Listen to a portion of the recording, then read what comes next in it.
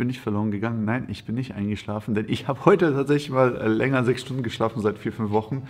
Ähm, wir hatten echt unfassbar viel zu tun. Ich muss euch einfach ehrlich sagen, ich hatte einfach nicht die Kraft, die Zeit, ähm, äh, irgendwie so ein Update-Video zu drehen, was gerade abgeht, ähm, weil einfach viel zu viel anstand. Wir haben ja einmal den Zero Waste Drop, der nächste Woche Samstag kommt. Dann haben wir gerade, nehmen, ihr seht ihr hier, für Ruben nehmen wir seine Jacke, seine Hoodies, äh, seinen äh, Jogginghosen, seine Jeansjacke, seine Jeans nehmen wir gerade für ihn, um ihn so ein bisschen unter die Arme zu greifen. Der hat ja bald auch sein Release. Dann haben wir, wie gesagt, unser Zero Drop Release, wo einmal ein Hoodie, wo einmal ein Sweater kommt, wo einmal, äh, nee, dreimal Hosen bekommen in drei verschiedenen Farben: Braun, Beige, Blau. Das ist so unser Zero Waste Drop, wo wir Designer Stock Fabrics gekauft haben aus Kollektionen, die teilweise schon erschienen sind oder erst noch erscheinen. Ähm, teurer Spaß, aber wir haben, glaube ich, ziemlich coole Kollektionen daraus gemacht, wo man so ein bisschen halt miteinander Spaß haben kann und so ein paar coole Produkte machen kann. Denn der nachhaltigste Stoff ist immer noch der, den man halt nicht produzieren muss, muss man fairerweise sagen. Und das ist so das Konzept, was wir so ein bisschen damit einfach ausprobieren wollen und schauen wollen, wie das ankommt, ob man äh, ja, damit irgendwie vorankommt. Natürlich steht ja auch noch eine ganze Kollektion an, Ende März äh, für uns. Da laufen gerade die Planungen fürs Shooting, die Planungen äh, für die Produkte. Und ähm, das Schlimmste daran ist, wir haben in circa vier Wochen für die Kollektion. Wir können jetzt diesmal kein Runway machen. Wir haben erstens das Geld nicht dafür, zweitens nicht die Zeit dafür. Und drittens, das größte Problem von allen ist gerade, wir sind gerade von Produkten her mit zwei Looks so Pi mal Daumen durch von acht. Das heißt, wir haben noch unfassbar viel zu tun und ich weiß echt nicht, wie ich das machen soll. Ich muss förmlich hier übernachten, dass wir das irgendwie auf die Reihe kriegen.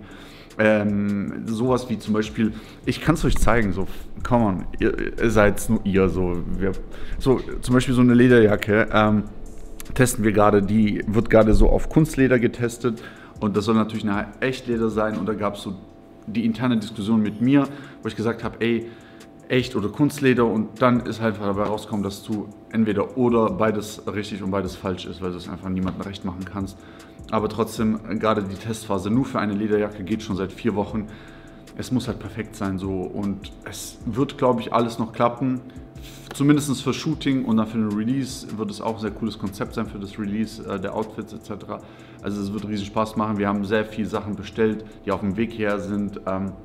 Sehr viel Kunden arbeiten, äh, muss man auch fairerweise sagen, die extern sind, wo wir halt so nicht darüber sprechen können, weil teilweise die Produkte in Monaten, Jahren oder echt zwei, drei Jahre später erst rauskommen, woran wir arbeiten, ähm, ist halt unfassbar schwierig darüber zu reden. Und teilweise kann ich das auch gar nicht, muss man fairerweise, weil bei den jüngeren Leuten eher nicht, da habe ich keine NDAs, aber bei den großen Konzernen ist halt so, dass du wirklich unterschreibst, weshalb zum Beispiel bei uns auch im Eingang so ein Fotoverbotsschild steht, äh, die Mitarbeiter auch in den Arbeitsverträgen drin haben, dass sie nicht darüber reden dürfen, äh, was wir hier eigentlich genau machen, was ja für die meisten nicht ersichtlich ist, oder äh, dass sie überhaupt Fotos, Videos hier drin ich mache das so, weil ich weiß, was hier rumsteht.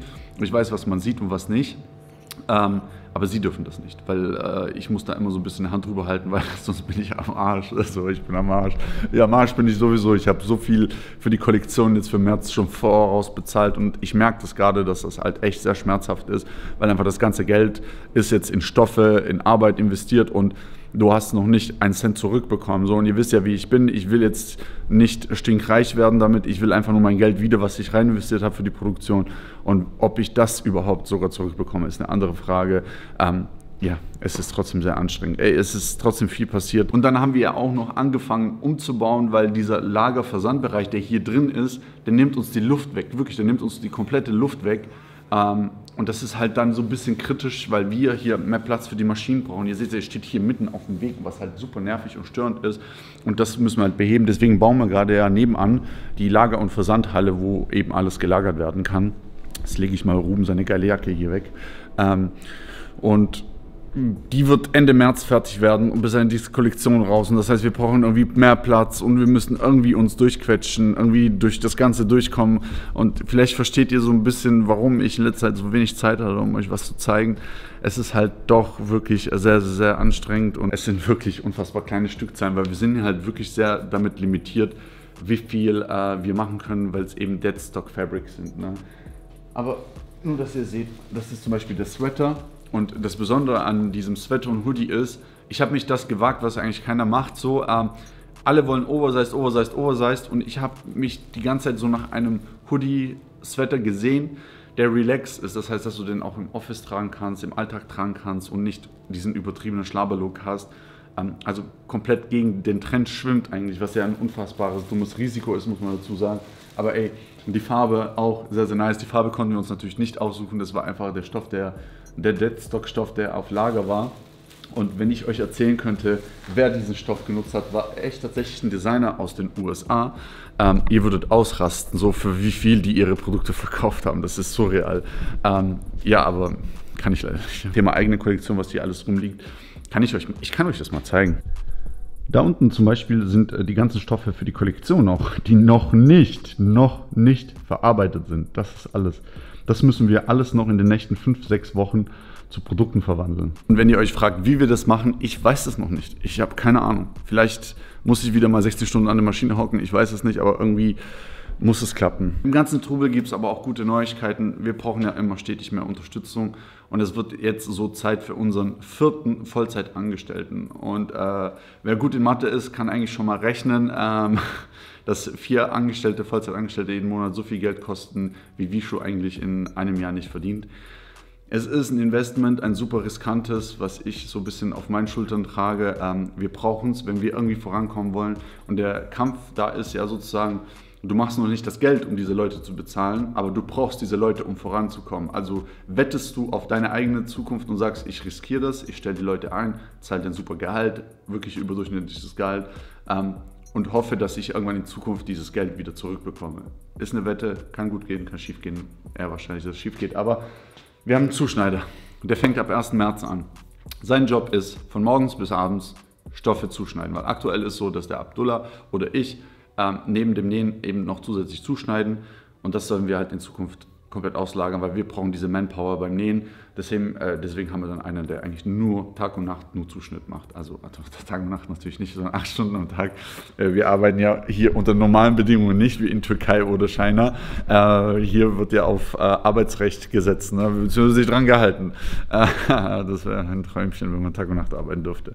Tue ich ja sowieso. Wenn ihr Lust habt, könnt ihr euch mal die Zero Waste Kollektion anschauen. Ähm, ich muss mir auf jeden Fall irgendwas Cooles überlegen, wie ich euch da so ein bisschen mehr zeigen kann. Vielleicht auch nachträglich veröffentlichen kann, so Thema Kollektion. Shooting werde ich euch auf jeden Fall mitnehmen, werde euch da so ein Behind-the-Scenes-Video Behind zeigen. Da haben wir auch wirklich unfassbare Unterstützung, auch einen super Fotografen und Models, was wir uns da ausgesucht haben. Jetzt klingelt unsere Stoppuhr. Also nochmal, wir haben einen super Fotografen für das Shooting, zwei super coole Models.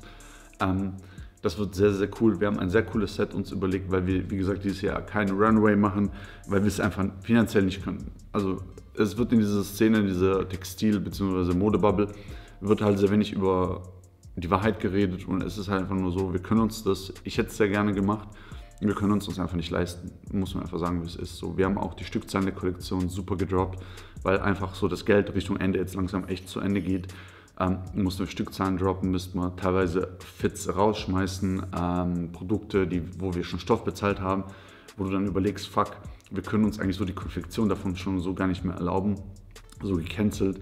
Also wir haben das echt sehr clean gehalten und trotzdem so diese Ästhetik, die ich im Kopf hatte, trotzdem noch erreicht, was wichtig ist. Ähm, und das ist so unser erster Probelauf, um so ein bisschen die Orga dahinter zu sehen, wie das funktioniert, wie weit wir voraus anfangen müssen zu arbeiten für die Konfektion und allem drum und dran. Ähm, es ist halt ein Learning by Doing bei uns so, alles eigenfinanziert, keine Darlehen, keine Investoren, keine Big Money Gelder, keine reiche Eltern, kein gar nichts. Es ist halt alles aus eigener Tasche gestemmt und irgendwie überleben von Monat zu Monat. Und das wird auch genauso weitergehen. Aber trotzdem ähm, werden wir im Herbst dann unseren ersten Runway haben. Da seid ihr aber bestimmt dabei, oder? Da, da gibt es auch Plätze, also wenn ihr da Lust drauf habt.